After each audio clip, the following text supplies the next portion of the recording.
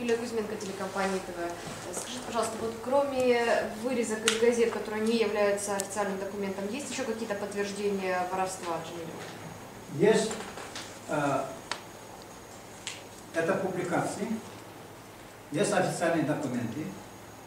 Я в то время был членом Милиса, 93 по 97 год. Этот вопрос поднимали. Нашли документы где-то на миллион двести тысяч долларов. Тут сплетенный момент такой есть. Имдатбанк является коммерческим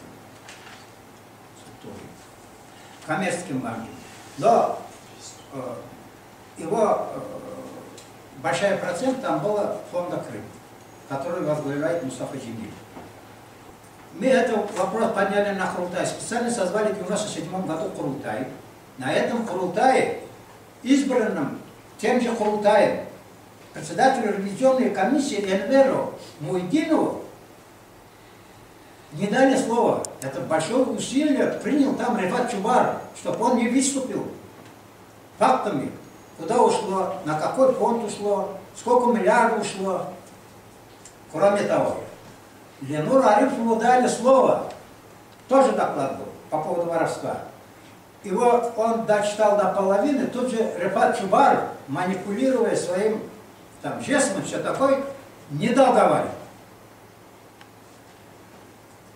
А, официально мы сейчас не успели взять, как его прокурора Хатибенки, обращение к президенту, что Мустафа Джемилев Межлис э, вмешан в хищение государственных денег. У нас, у меня даже есть документы, ну, на основе которой вот это э, комиссия. У газетных публикаций есть. Но тут, видите, получилось так, это выгодно э, некоторым силам, которые не хотят нашего восстановления, возвращения на родину здесь. Они стали марионетками. Чубаров, Мустафа и некоторые его компании, Милиси, вот один из тех сидит здесь, я в открытых глазах говорю, они стали марионетками, потому что на том Курултае в 1997 году выступил зам прокурора Крыма и сказал, что это не воровство, а это не возврат. Странно, да? Русский э, этот, э, как слова очень широко можно понять. Не воровал, но взял, не отдал. Его признание тоже я сказал, вот он есть. Кроме того, его поддерживал Рух. Киева приехал тогда на Култай покойный Черновыл, зная о том, что мы здесь члены Меджлиса, это не кто-то со стороны члены Меджлиса, разоблачаем Мустафу воровстве, тут Чубаров тоже в стороне не остается, потому что он был зампредседателем э, Крымской ССР здесь, Верховного Совета. Куда он смотрел? И что Черновол выходит на сцену, обнимается с вором, и поднимает авторитет перед теми, которые ну, люди, э, делегаты крутые там, не все же понимают, не то, что они дурные, нет.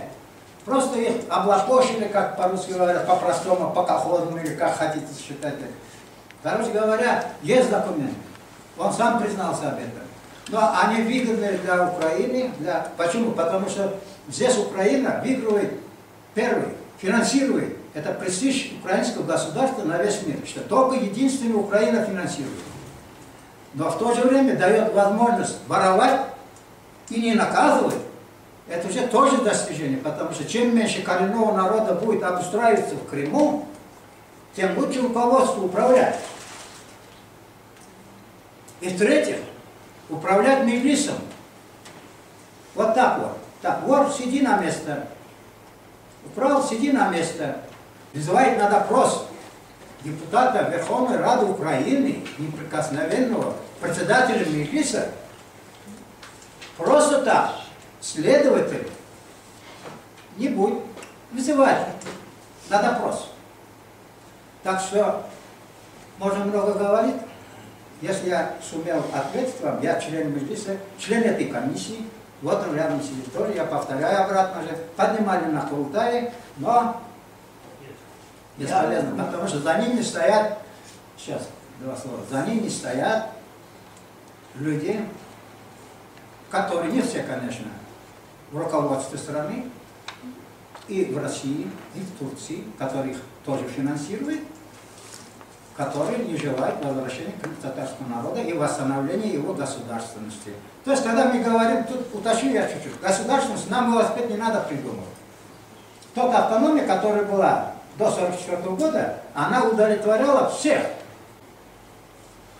Вот в чем заключается государство. А без государства мы ничего не можем делать, потому что нет финансов, нет того, голоса не хватает Верховного Совета принять какое-то решение о языке, о топонимике или о чем-то.